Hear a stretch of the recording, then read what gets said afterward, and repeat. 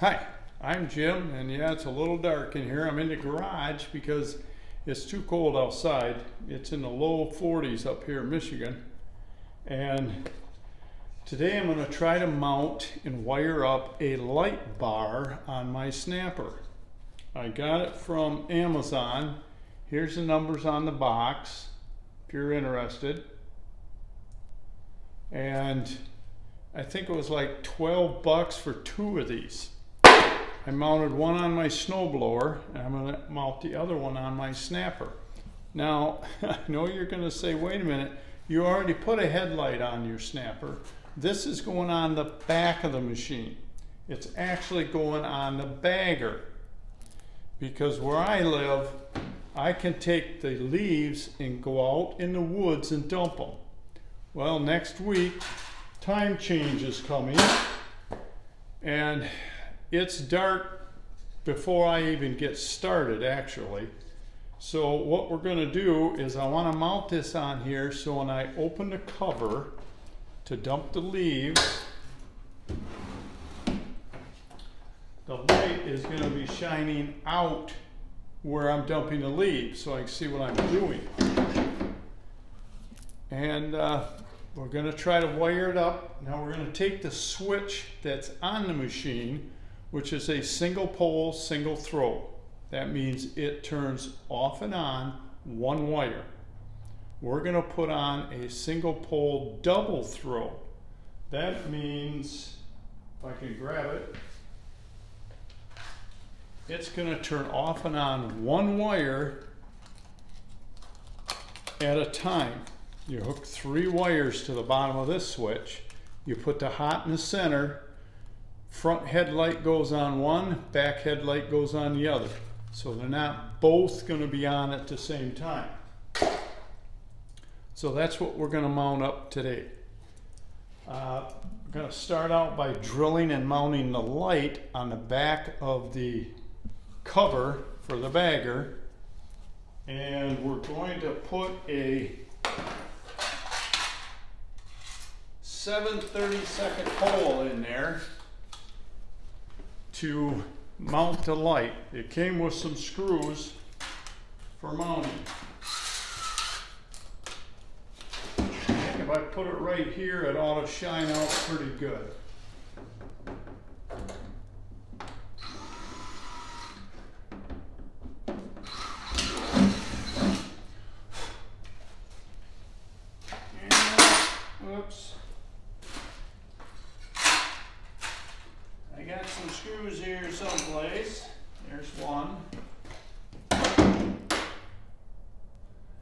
As soon as I get this done, I got to get out and do leaves. They're starting to pile up a little bit. And that doesn't quite want to go in that hole.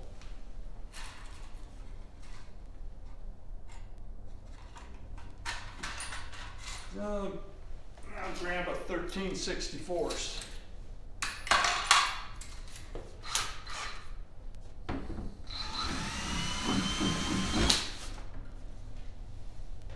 see if that fits.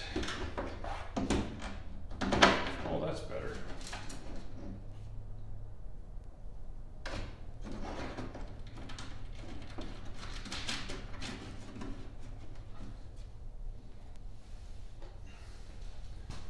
I probably should have a self-locking nut on here.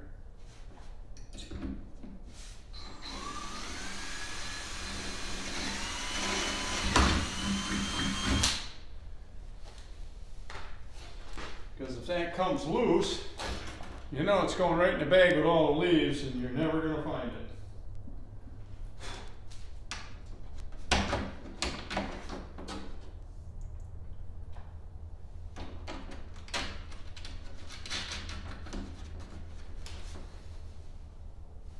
Now depending where you buy these things, of course they're made in China, so it's all metric. I need a 10 millimeter wrench and socket. Or two wrenches or two sockets. Now I've got some metal shielding here. It's like the plastic stuff I use, but the plastic stuff has a slot in it, so it's easier to snap on the wire. And I'm afraid it's gonna come off with all the vibration and moving. So this is solid, there's no slot in it. You have to fish the wires down through from the inside. So we're gonna move you over here and try to get a picture of this. I've got a connector on here already for the wire. What I wanna do now is try and figure out how much of this I need. Let's move you over here. We gotta take off the battery cover and loosen up the battery. Sorry about that.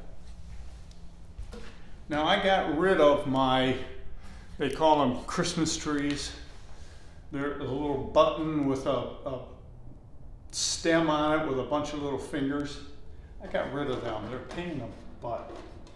They never come out very good. And once you use them a couple times, they don't work anymore. So what I did is I drilled and tapped the holes that them things snapped into, and I just put quarter 20 screws. Round head Phillips screws in there, and that works so much nicer.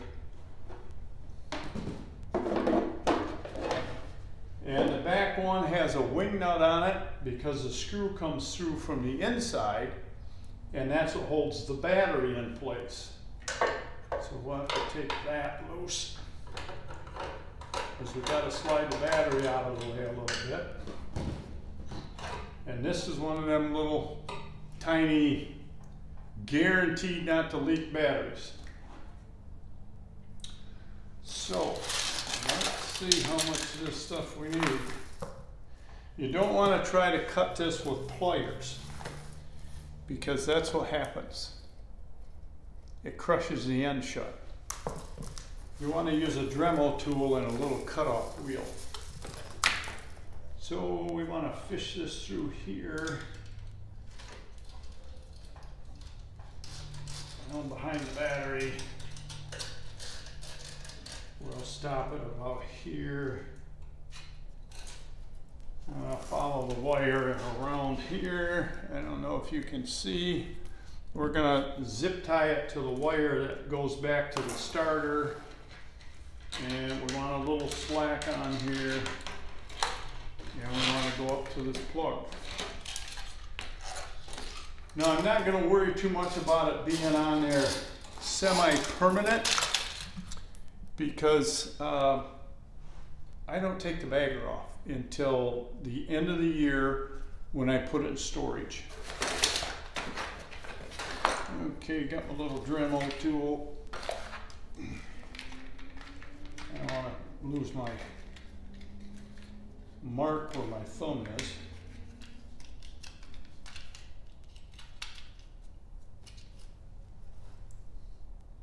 this could be this could be interesting.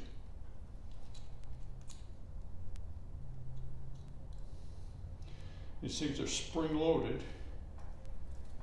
I'm going to have to put that down. And keep my knee on it.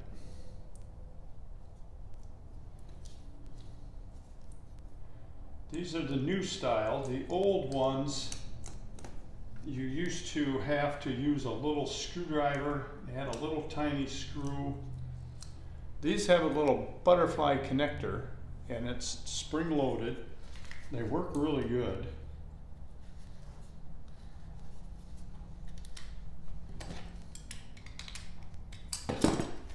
And we're going to go over here to the outlet on the wall and cut this off.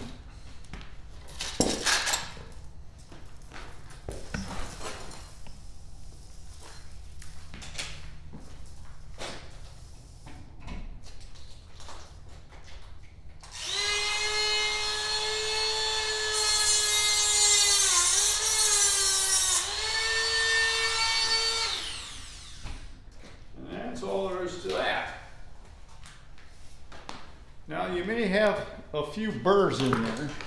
So I got this really small file that I use for sharpening my chainsaw blade that just fits inside that tube. And we'll see if we can knock the burrs off it.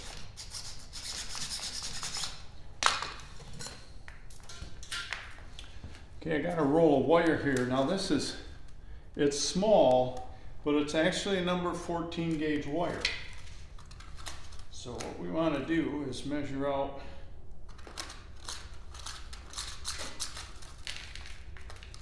a little extra than what this thing is long. Because I would rather throw away a couple inches than to cut it a little bit short and have to throw away four feet.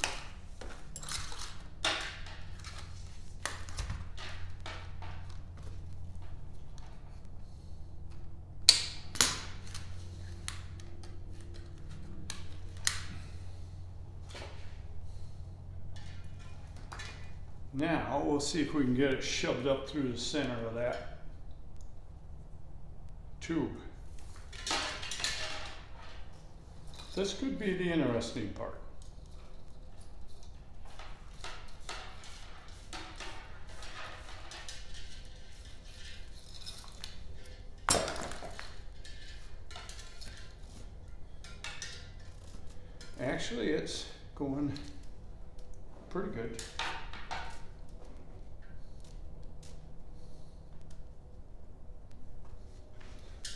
Shouldn't have said anything.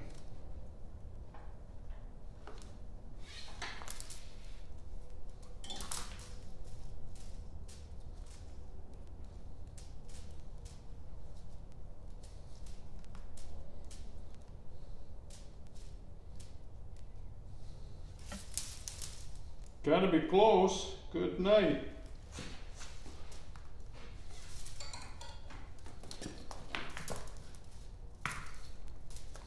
Feels like a couple more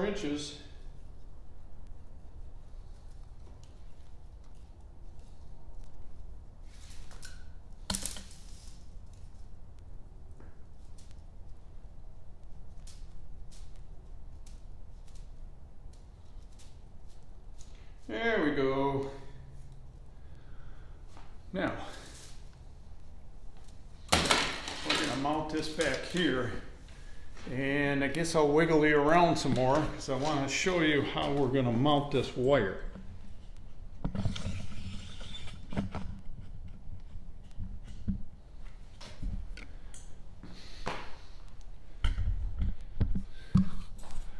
We're going to use zip ties. And we're also going to use what they call mounting blocks. These are self-sticky little square block and they have a slot through them for the zip tie to go through.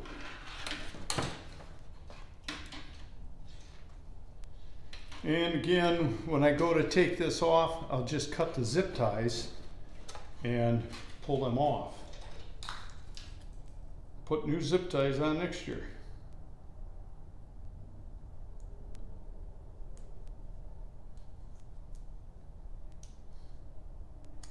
Now, if they come loose, they do have a hole in them where you can put a small screw. These are a little bit old and the backing doesn't want to come off of them.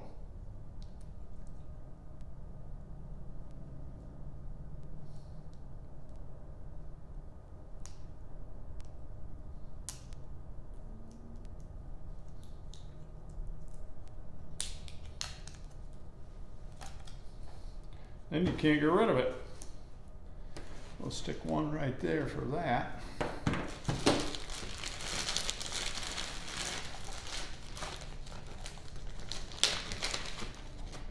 Zip tie just slides right through it. Put it around the wire.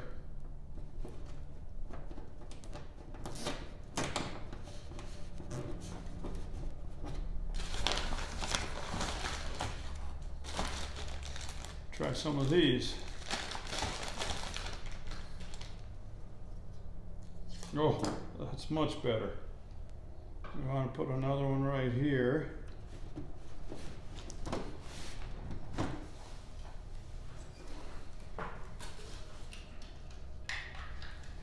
Got stuff laying everywhere. Now this little connector I got, you just strip the wires and shove it in. You, there's no connectors, there's no screws.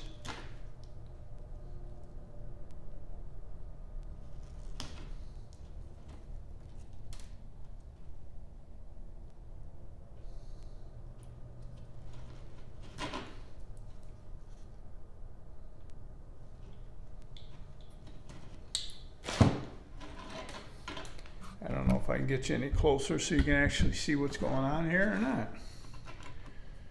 Okay, we're just gonna stick this wire in there.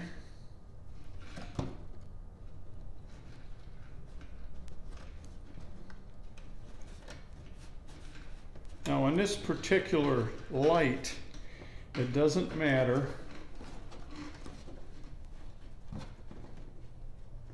which one is hot and which one is ground.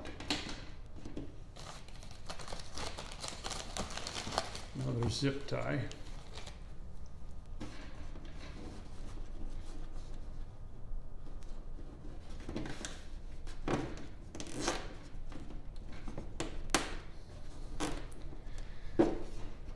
Now I'm going to finish running this cable up to that battery box and I'll be right back. Okay, I think I got enough zip ties on it. It comes off the top, around the top of the corner, down between the engine and the bumpers, runs around the bottom of the engine with the wires that are already there, goes through the battery box, around behind the battery, comes out in the front, and comes up to where the switch is. So now, gotta cut in front of you and get some tools here. We gotta take this cover off. Now this is something that a lot of people don't even know exist. Let me grab my switch over here.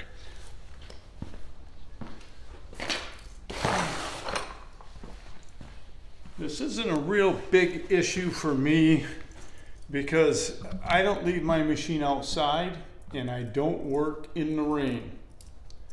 But if you can see in this switch, so the switch can work, there's a crack around there. And if water gets in there, it's gonna corrode your switch. Well, you can buy these little boots. It's just a rubber cover that goes over your switch and screws on the way it mounts. And it's totally sealed. I put them on a lot of stuff at the shop to keep metal dust, especially on the belt sanders, out of the switches because that, that really tends to short them out. They always, for some reason, put this decorative round nut on the switch. It's supposed to be on the outside. I put them on the inside. I want the nut on the outside so I can tighten it up. So let's take this switch off. You typically just need a 9 16 wrench to get that off of there.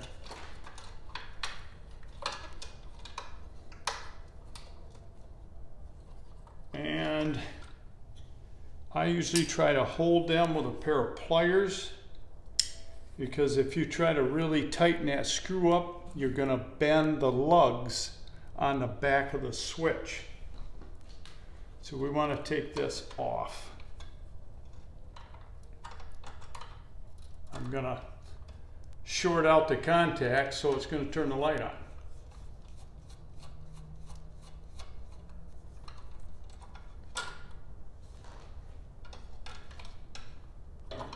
And now we'll take the other wire off. The one in the center, or this one, is the one coming from the battery. it really doesn't matter how you hook them up. It will on this switch. The hot wire has to go to the center. Now we can double check this to make sure we got the right wire.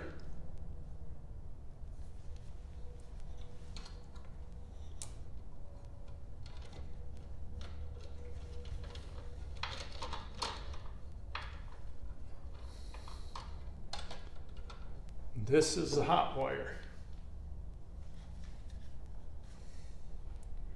Guess we'll turn that off. So, where's our new switch?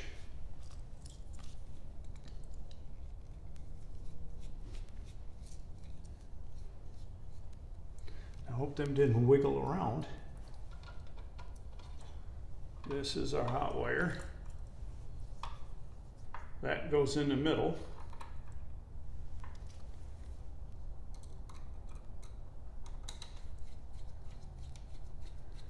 Now when you activate these switches, especially a double throw, when you switch it this way, that does not connect these two connections. I'm hoping you can see that. When you throw the switch this way, it's throwing the contacts that way. So this wire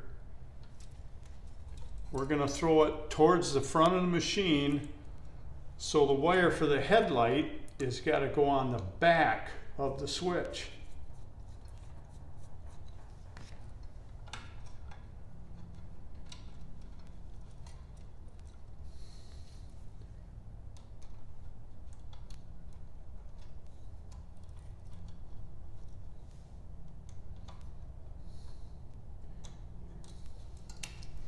It's on because I got the switch on.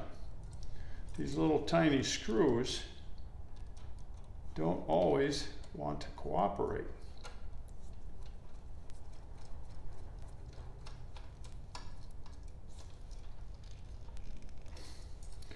Now somewhere on here, I have to pick up a ground because the light is mounted in the plastic cover, so the ground is not going to do me a lot of good. Being grounded through the case. So I just grabbed a bunch of connectors that I needed to try and find what I want to use. And this is something I made a long time ago. Wife gave it to me. It's an old cookie sheet. And when I dump nuts, bolts, washers, cotter keys, connectors, you got to get them back in the box without falling over the edge. So I drilled a hole with a hole saw. And all you have to do is shake them towards the hole and they go right back into your container.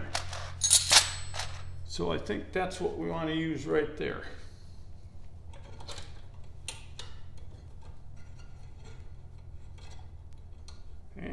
We'll cut that off. What did I do with my wire cutters?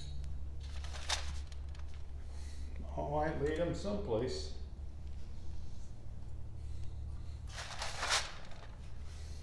Nice, huh? Where did I put those?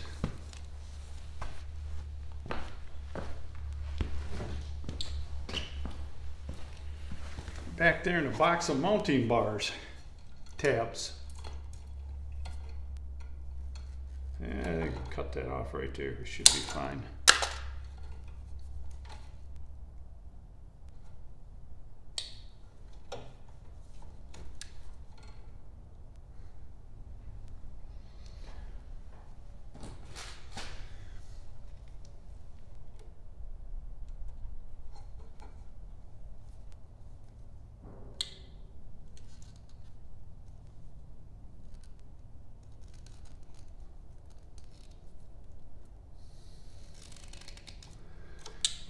that on there.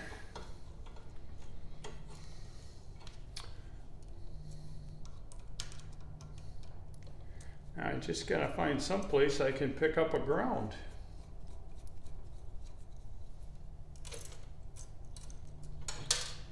Maybe I'll just hook it right to the battery.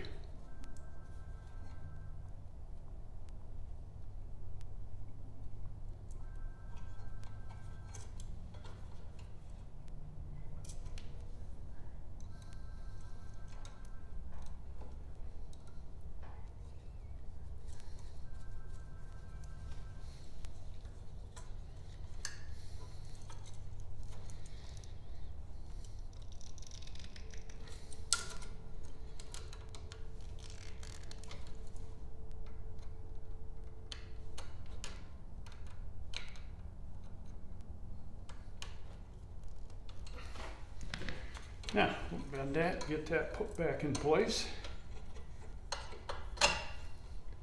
And I think we want to screw that nut down a little more. That should do it.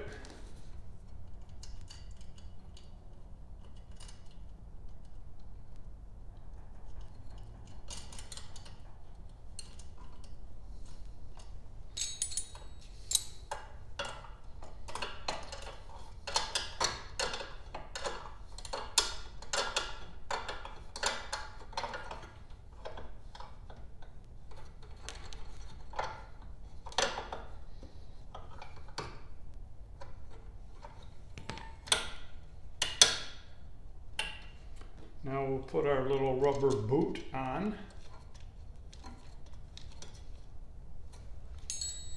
Snug it up a little.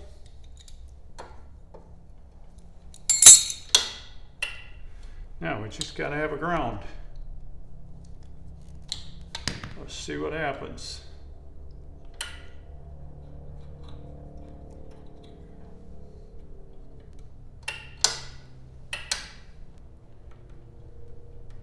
I can't see if it's working.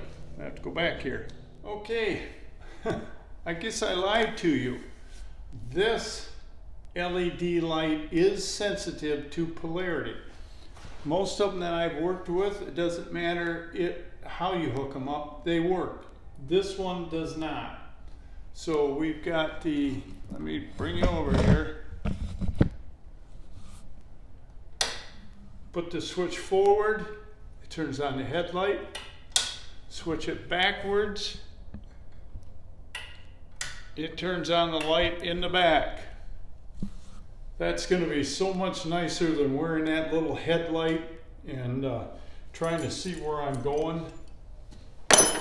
All I got left to do is put the battery box cover back on. Let me wiggle you forward here. And we're done. Now again, I've got a screw going through from the inside out that holds the battery in place. And on that, I use a wing nut. We get this cover on here.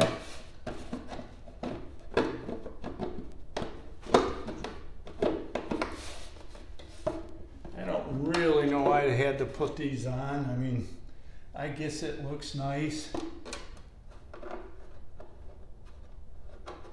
But they're a pain when your battery goes dead and you got to get the charger out. Fortunately, this machine has a rope. Now, if you can just get them lined up,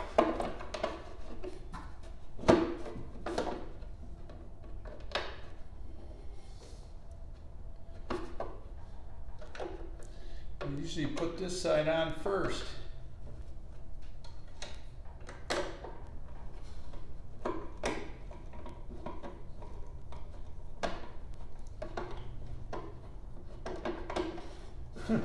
Maybe I'm gonna have to. It certainly doesn't want to line up.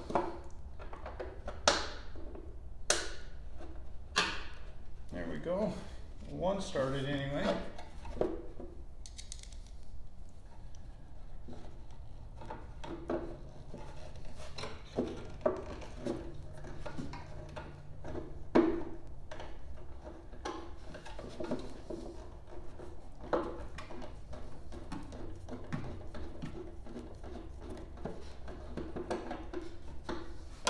this is really being a problem.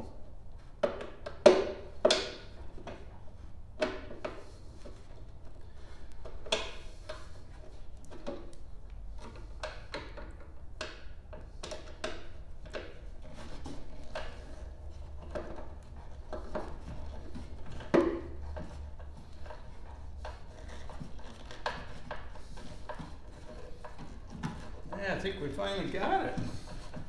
Good night.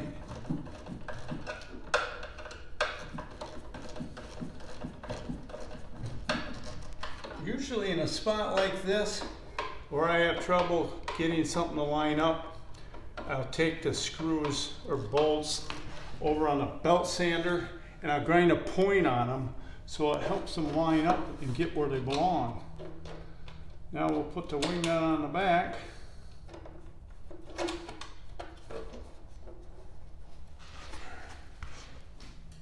And we're done.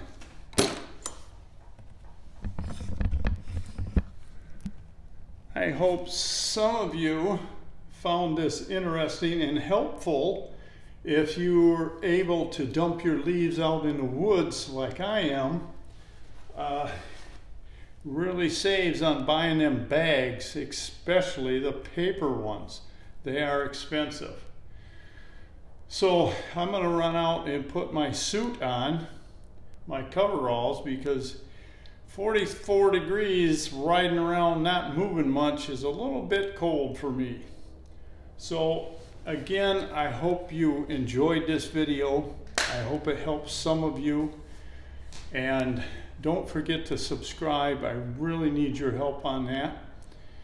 And until next time, work safe, have fun, and keep on snapping. We'll talk to you soon. So long.